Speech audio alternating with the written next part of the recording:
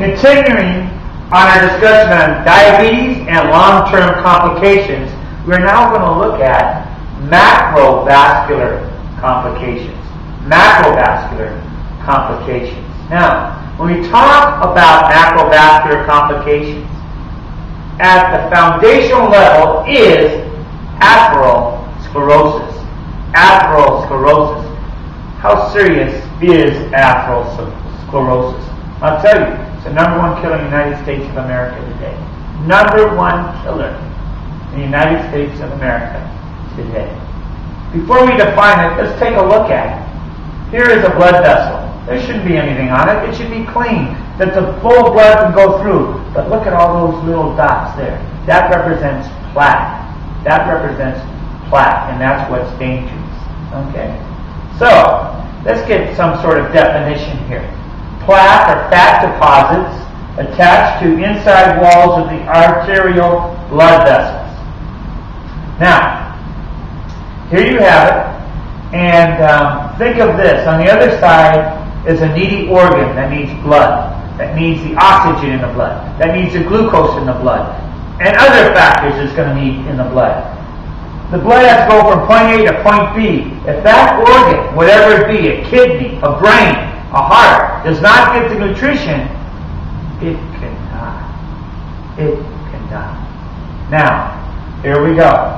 Two important problems that occur as a result of atherosclerosis are one, impeded blood flow. The blood is not making it the way it should.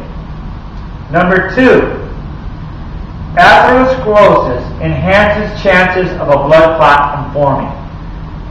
Before we talked about impeded flow with a blood clot, no flow, no flow. Certain death to the end organ over there. Okay, if we consider atherosclerosis, the tree, let us look at the branches of the tree. So we're going to go over here. The branches of the tree will be three. CAD, coronary artery disease. CVA, which is cerebral vascular accident, which is a stroke. Or peripheral vascular disease, PVD. Okay, let's go back up here. When a person has coronary artery disease, they're at great risk for a myocardial infarction, heart attack. When a person has atherosclerosis, they're at great risk for a stroke. The blood, the, the blood vessels supplying the brain, filled with plaque, impeded flow, or a clot, stroke. PVD, peripheral vascular disease. We know that with diabetics, that diabetes is the number one cause of surgeons having to do amputations on the lower extremities. Peripheral vascular disease. When a patient has peripheral vascular disease, the oxygen and nutrients to the lower extremities is diminished. How do we know that they're experiencing peripheral vascular disease? A couple indicators would be diminished pedal pulses. You take the pulse, and all of a sudden, or you notice that it's not very strong. Not very strong. Well, diminished. The blood's not getting there. Not getting there very well. Also, one sign and symptom would be claudication. What is claudication? Well, you go for a walk, you start to feel some pain in the calf muscles or maybe in the buttocks. Hmm. Indicator claudication. Not a good sign. Not a good sign. Now, let us talk about atherosclerosis and what's unique in its relationship with diabetes. So we're going to go on here. Here we are.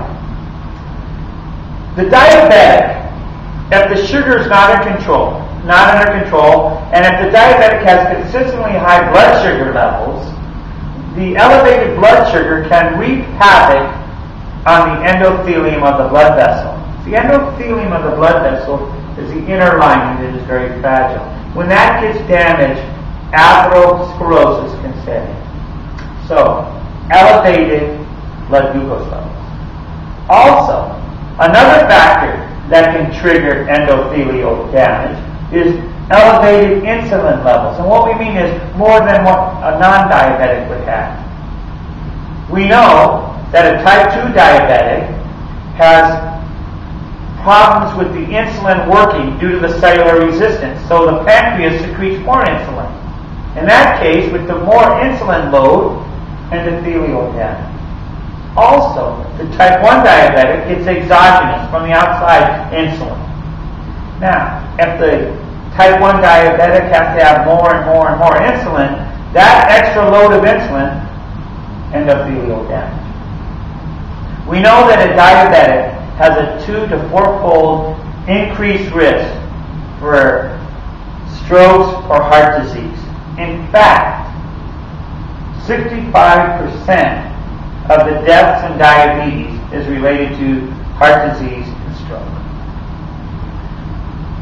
Atherosclerosis is not unique to the diabetic, but if a diabetic has these other problems, that will add to the effect. But let's look at some of the other factors that affect atherosclerosis.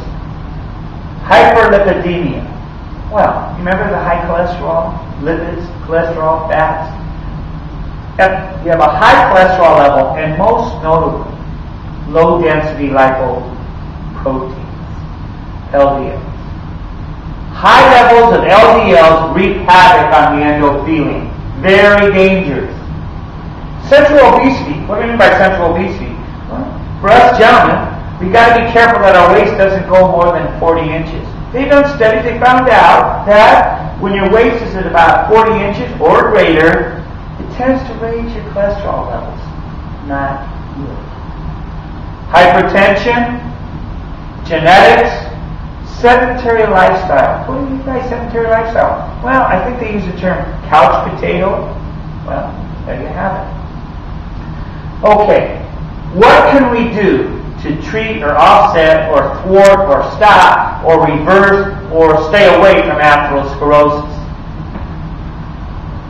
There's two major arms to this. One is weight loss, lose the weight. Two is exercise. Exercise.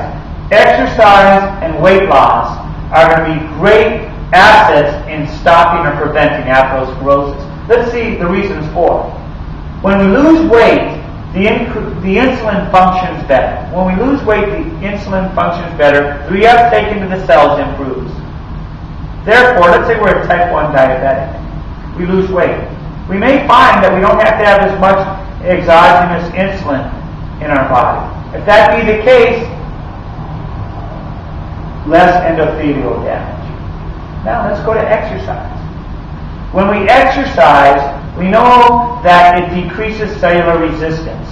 We know that um, insulin receptor sites on the cells increase, therefore we do not have to have so much circulating insulin. The pancreas doesn't have to secrete as much.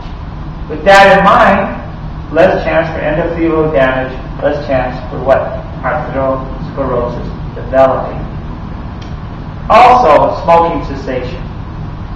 We know that one cigarette can cause vasoconstriction up to one hour. Nicotine in the cigarettes can cause vasoconstriction. We don't need that to already a problem with circulation. Let's go back now and just do a real quick summation. Diabetes, long-term complications, what we talked about here is macrovascular. What was at the heart of macrovascular complications? Atherosclerosis.